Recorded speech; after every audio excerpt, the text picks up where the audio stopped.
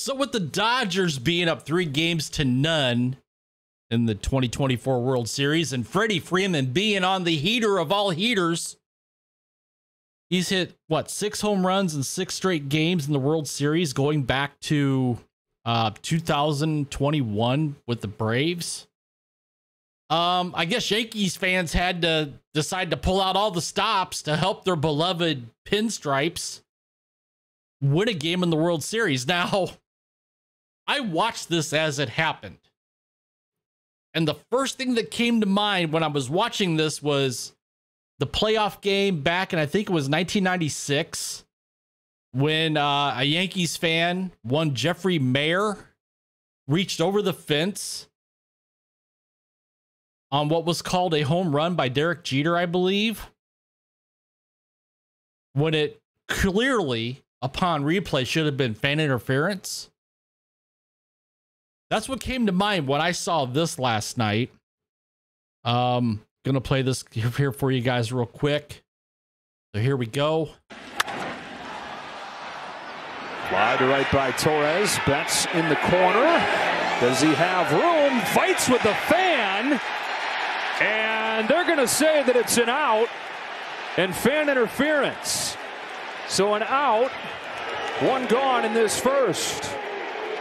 It's the second time that Gleyber Torres has hit a ball that has ended up in fan interference in this series. He had the home run turned into a double back at Dodger Stadium. And yeah, Betts has that ball in his glove, and this fan literally tries to take his glove off. Pries the ball out of there. A for effort. Well, he won't be watching the game much longer. Now, I like John Smoltz' comment there about how he won't be watching the game much longer. Now, if you notice in this video, um, I have to find it here. Okay, these two Yankees fans are trying to say, well, he was he he was in the stands. That's fair game. You can see the one guy doing this, trying to say, yeah, he was right here, right here. This is where he was at. Here, let's watch it again here. Yeah, see that? So an out. How he's saying, hey, hey, he's right here. in this He's over the fence. That's that's now the rule in Major League Baseball is if the fan reaches over, that's fan interference. But the player reaches into the stands and the fans get involved, it's not fan interference. That's the rule. Well, in this case, Mookie Betts clearly catches the ball on the playing field and goes into the stands, and these two schmucks decide that, yeah, we're going to try to rip the ball out of his glove and help our team. Now, this is from over at Outkick. Ian Miller writes The 2024 World Series has not been the best showing for fans of the New York Yankees. In game two, hundreds of gathered Yankees fans cheered Shohei Ohtani, partially dislocating his shoulder on a slide into second base. At the start of game three, there were loud FU Freddie chants audible throughout the stadium before Freddie Freeman's first at bat, which of course, what's Freddie do? He hits a home run, a two run homer, first inning. Then thousands of them left the World Series game innings early, yet another embarrassment in front of a national audience. But Yankees fans say perhaps their biggest embarrassment for the bottom of the first inning in game four, where Gleyber Torres popped up, popped a ball up down the right field line. Mookie Betts racing over to the corner to make the catch. His momentum carries his glove over the fence line into a front row Yankees fans, and they literally ripped the ball out of his glove. Not cool. Not cool at all. So, uh, this is from the New York Post. Dodgers Tommy Edman tees off on Yankees fans for interfering with Mookie Betts in World Series. Tommy Edmonds basically called it ridiculous. And it was ridiculous.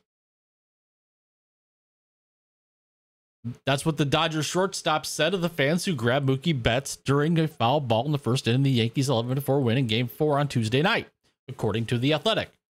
The guy was trying to yank Betts' glove off, pulling at his wrist, looked like he got ejected. I'm glad he did. I've never seen anything like that. That was unacceptable. And like John Smoltz said, yeah, they won't be watching the rest of the game. And no, they weren't. They were ejected, and they should be ejected. One Yankees fan, later identified as Austin Capobianco, attempted to either rip Betts' glove off or at least dislodge the ball. While Betts attempted to wrestle his arm away from the fan, another grabbed his right hand in a stunning development, and the ball tri- trickled loose. Betts, understandably, did not appreciate the interaction in the moment, and Torres was ruled out due to fan interference, although Betts clearly made the catch. The pair of fans were ejected for their actions. The former Red Sox star later downplayed the incident and said he did not get hurt on the play. Well, it's a good thing he didn't get hurt on the play because if he would have got hurt on the play, that would have even compounded this. I didn't even know he grabbed my hand. Betts said it's perfectly fine. Yet when it comes to the person in play, it doesn't matter. We lost. It's irrelevant. I'm fine. He's fine. Everything's cool. We lost the game. That's what I'm kind of focused on. We got to turn the page and get ready for tomorrow.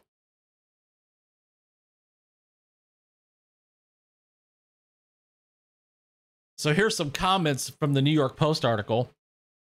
I remember watching the Sox Yankees game in the 70s when the Yankees fans took the glove and ball from Carl Yastrzemski in left field when he tried to make a catch. They kept the ball and threw him his glove. One of the worst things I've ever seen in baseball, completely inappropriate. I hope these two clowns get banned from Yankee Stadium for life.